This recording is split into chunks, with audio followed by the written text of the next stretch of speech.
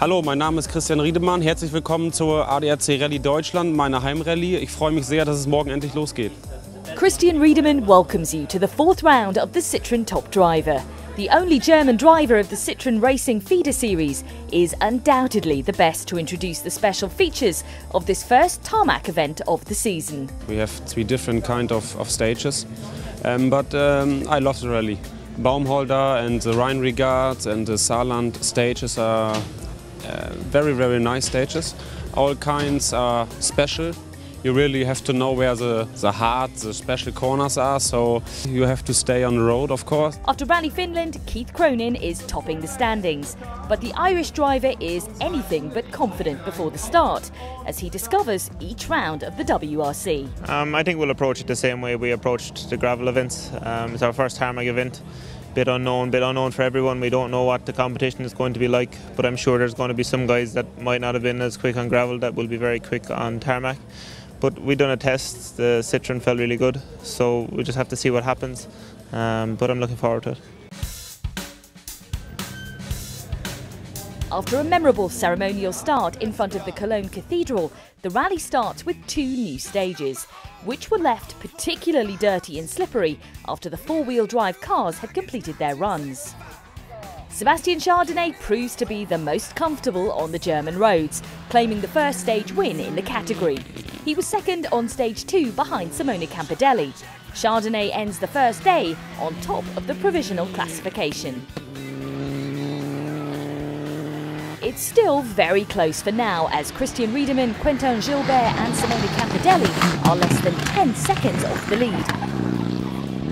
Keith Cronin ends day one in fifth after picking up a puncture.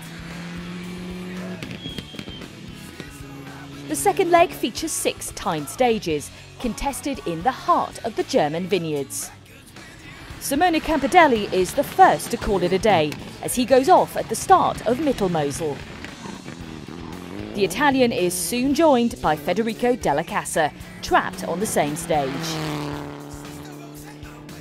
At the start of Moselland, Keith Cronin checks in at the control point over nine minutes late after he tried to repair a brake line, whilst Christian Riedemann is forced to retire after a minor impact.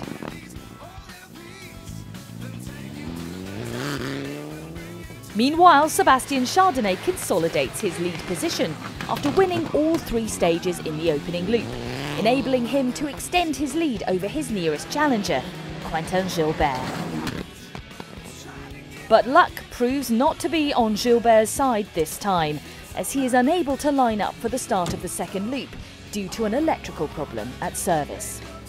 Despite suffering an accident involving a dog on the sixth stage that damaged the radiator of his DS3 R3, Sébastien Chardonnet ends this second day with a lead of two minutes over Keith Cronin.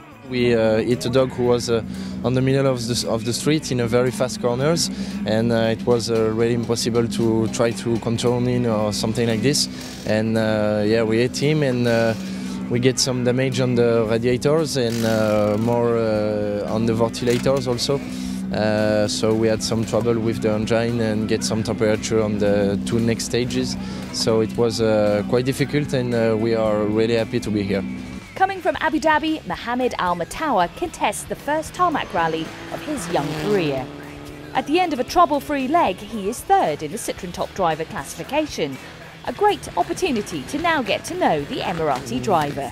I won the selection in Abu Dhabi for the Citroen Academy and Abu Dhabi Racing. So uh, now, thank God for Abu, uh, for Abu Dhabi Racing, I'm here with this opportunity. I'm trying to get as much experience as possible. This is my first ever uh, rally in tarmac, but I haven't. I've, I've done five years in circuit before, so I have a bit of experience in tarmac. But this is not like uh, circuit racing, so it's a bit different. And so far, it's good. We've been going good, uh, going steady, so really happy with it so far.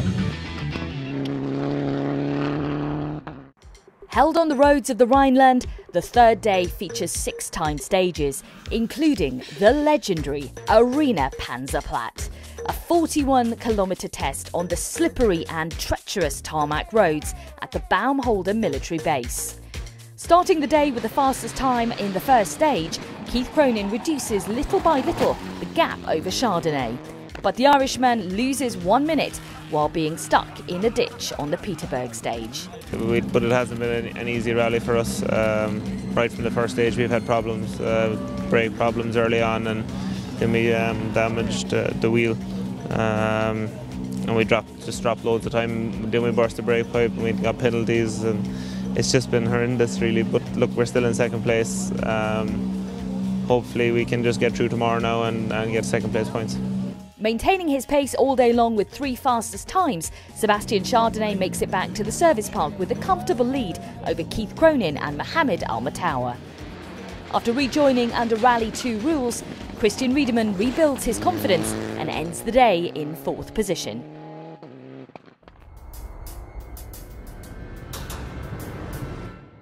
Sébastien Chardonnet, the final leg is not about pushing hard. The French driver takes no risks in the two Dhrontal stage runs, so it's therefore no surprise that he goes on to claim the win. That was the target this weekend. Uh, we did, I think, a very good job all the weekend. The team also made a really good job uh, during the service, and uh, it was not so easy because of the weather condition. Uh, sometimes rain, sometimes not. Uh, even this morning was quite difficult, but uh, everything went okay. And when it's like this, it's really a big pleasure. Further back in second, Keith Cronin admits he's fortunate to finish as the runner-up. You know, it, you know, there was no good day for me in this rally. But as I said, I, I, the positive I can take from all of this is that we, we got a good result at the end. Fastest in the two final stages, Christian Riedemann finishes his home event on the podium after passing Mohamed Al Mutawaa. Yes, I'm uh, very happy. After the disaster on the second day, uh, we after the little crash. So we are back on the road and we did some good stage time this weekend, I think, and we scored some important points for the championship. So I'm, I'm really happy, yes. We are now at the end of ADAC Rally Deutschland. Let's take a look at the standings. Thanks to this win, Sébastien Chardonnet takes the lead with a four point margin over Keith Cronin. The title may be decided between these two drivers. In the Teams Championship, Top Teams continues to head the standings with a five point lead over Charles Hurst Citroën Belfast. The next round will be Rally de France at the beginning of October. See you there.